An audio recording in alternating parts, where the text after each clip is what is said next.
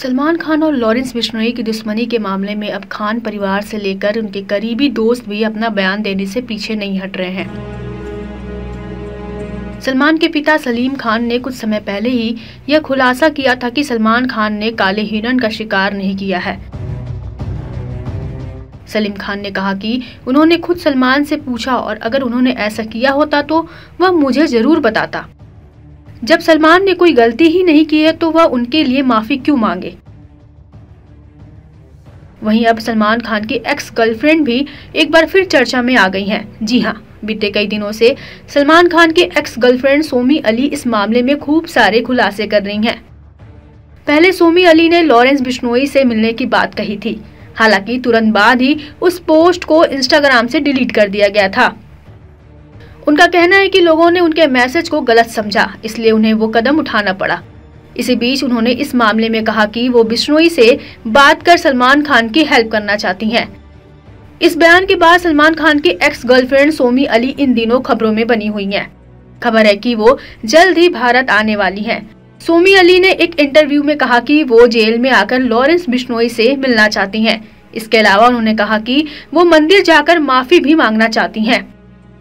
सलमान खान के ex girlfriend Somy Ali ने कहा कि सलमान खान ने उन्नीस में काले हिरन के शिकार मामले के दौरान नहीं पता था कि ब्लैक बग बिश्नोई समाज का भगवान है और वो उनकी पूजा करते हैं। वो मान रही हैं कि सलमान खान इस बात से पूरी तरह से अनजान थे। आगे वो कहती हैं कि यह बात उन्हें तब पता लगी जब सलमान खान जोधपुर से वापस आ गए थे। दरअसल खुद सलमान ने उन्हें यह बताई थी कि क्योंकि तब वो रिलेशनशिप में थे। सोमी ने आगे कहा कि, अगर बिना जाने सलमान ने कोई गलती कर दी है तो क्या सिर्फ़ उस इलाके में सलमान खान ही है, जिसने शिकार किया? बाकी लोग नहीं करते हैं क्या? मैं बिश्नोई समाज के मंदिर में जाकर माफ़ी मांगना चाहती हूँ।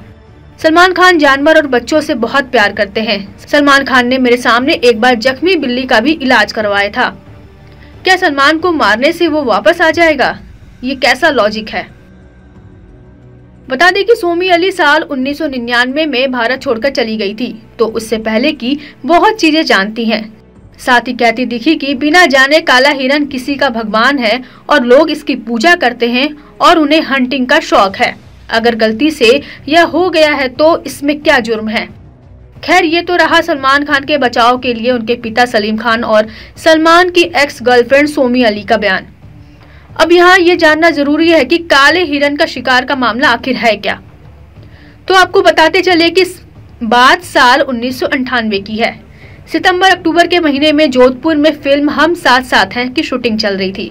आरोप है कि इसी दौरान सलमान खान अपने साथी कलाकारों के साथ भवाद गाँव की तरफ़ शिकार करने के लिए गए थे। जहाँ 27-28 सितंबर उन्नीस की रात घोड़ा फार्म हाउस में काले हिरन का शिकार किया गया। जिसका इल्ज़ाम सलमान खान पर लगा। वहीं दूसरी ओर इस केस से जुड़े चश्मदीदों के मुताबिक वो 1 अक्टूबर उन्नीस की रात थी। जोधपुर के कानकाड़ी गाँव में रात के करीब दो बजे खेत के आसपास अंधेरे में हेडलाइट की रोशनी चमकी। सफ़ेद रंग की जिप्सी एक ही इलाके में लगातार घूम रही थी। गाँव के लोगों को समझते देर नहीं लगी कि यहाँ शिकार आधम के हैं। काले हिरन के शिकार की कोशिश में है। इसी दौरान गोली चली। गोली की आवाज़ सुनते ही गाँव वालों का शक यकीन में बदल गया। आधी रात को गोली चलने की आवाज़ सुनकर सभी गाँव वाले जाग गए और लाठी डंडों के साथ उस तरफ़ दौड़ पड़े जिधर गोली चलने की आवाज़ आई थी। जब गाँव वाले मौके पर पहुँचे तो देखा दो काले हिरणों का शिकार किया गया है। गाँव वाले ने एक जिप्सी को वहाँ से भागते देखा। एक चश्मदीद ने पुलिस को बताया था कि शिकार करने जिप्सी में नौजवानों के बीच मौजूद सलमान खान को लोगों ने फ़ौरन पहचान लिया था। लिहाजा कार्रवाई भी शुरू हो चुकी थी।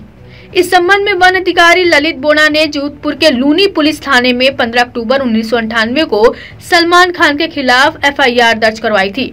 कुल मिलाकर इस मामले में चार अलग अलग केस दर्ज हुए थे।